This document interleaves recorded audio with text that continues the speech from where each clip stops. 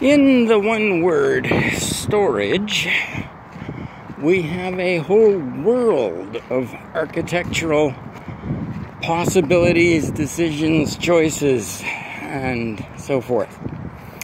Uh, when we talk about storage, um, we, you know, generally think about, uh, okay, disk storage, files, and so on. But, I mean, we've got a, an awful lot of uh, possibilities there. There is primary storage, the storage on the computer itself, and there are secondary storage, again, mostly uh, disks, but uh, these days disks, you know, you've got solid state drives and, and uh, stuff like that. So you have to think about, you know, what the possibilities are.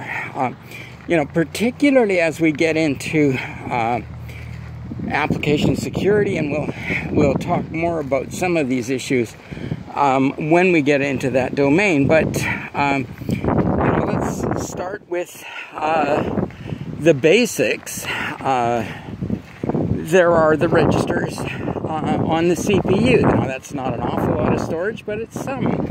Um, there is the uh, cache memory where we are uh, a sort of a hybrid uh, between the, the registers directly on the CPU and the main memory of the computer. So we have cache memory, which is faster so that we can do uh, some swapping out of the registers at higher speeds than are accessible uh, through the main memory. Then there's the main memory.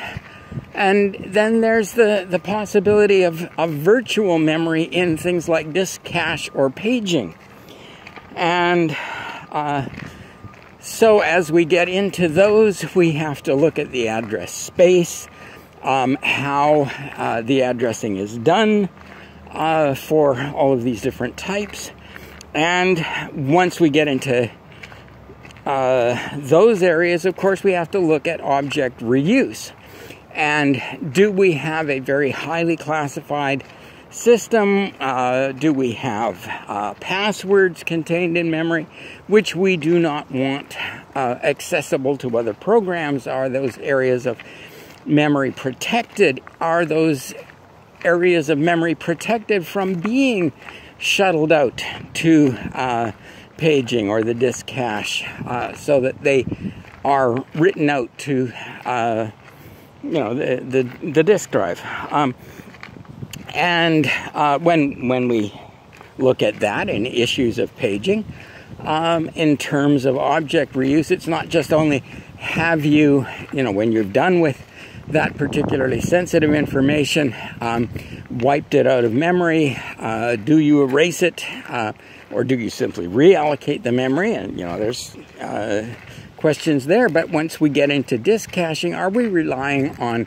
the operating system to do our paging for us? And if we are relying on the operating system doing our paging, then is the uh, operating system going to overwrite that data um, when it says that it's erased, or is it just simply going to say that this space on the disk is available for reuse? And it's it's more probably going to be the latter. So you know, is this good enough? Do we need to protect it from being uh, part of uh, uh, caching and, and paging um, in order to uh, prevent uh, object reuse um, in, in terms of you know somebody being able to, to access the disk drive. And and well, you know, we'll get into this more in operations, I suppose. But uh, just when I got into this game and, and was looking at object reuse, um, the uh, uh, you know you need a uh, like a scanning tunneling microscope to uh, uh, to do this type of reading of, of overwritten material but at you know when I got in 20 more than 20 years ago um, there were at least a thousand scanning tunneling microscopes in North America that that you know could have been used for this kind of purpose and they were able to read back um, you know, 32 generations of overwriting. and I, I believe the uh, you know the military uh, decided that three was enough and seven was you know really too, super top secret if you wanted to do that. So you know again once again you know it's it's always the decision of of how secure is the information. How how much security do you need? How confidential is is this stuff? Um, anyways uh, back into to memory uh, the memory management that we have to do, um, uh, relocation, um, and we'll, we're talking a bit here about address space layout randomization, um, uh, the uh, protection. Uh, one of the protections of of the memory, and you know there are others in terms of you know direct access to the memory that you know these areas of memory just aren't accessible except to certain functions.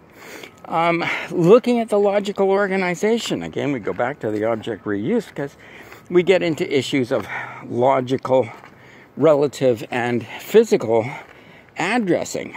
Um, the the logical addressing, you know, gets us very close to the virtual memory, and so again, you know, we've got issues of paging. Uh, the relative addressing, are we addressing a certain bank? from a certain starting point and, and are we locked in there? Uh, that, in a sense, gives us a certain level of protection, not entirely, but uh, possible.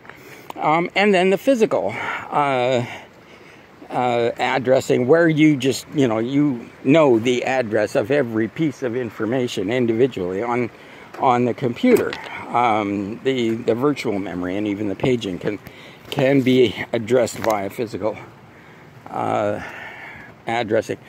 So, uh, again, um, uh, okay, back to uh, the relocation, the address space layout randomization. And is that randomized? I mean, this is meant to avoid issues of uh, buffer overflows. And game. we'll talk more about that in uh, application security and issues of um,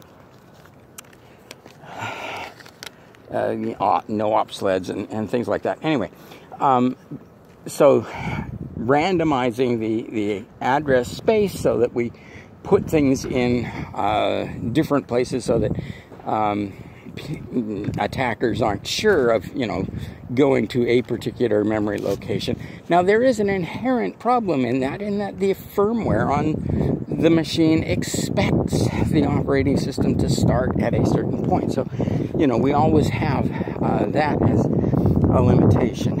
Um, the other limitation is the uh, uh, is the randomization truly random?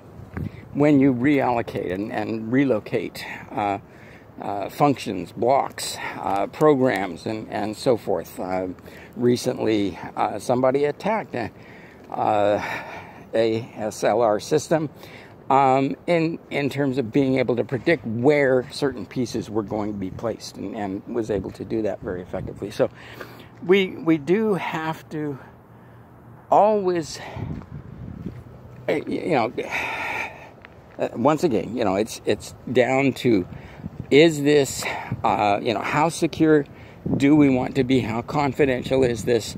Uh, how sensitive is this information? And doing the appropriate thing in in terms of protecting uh, everything that falls into that one.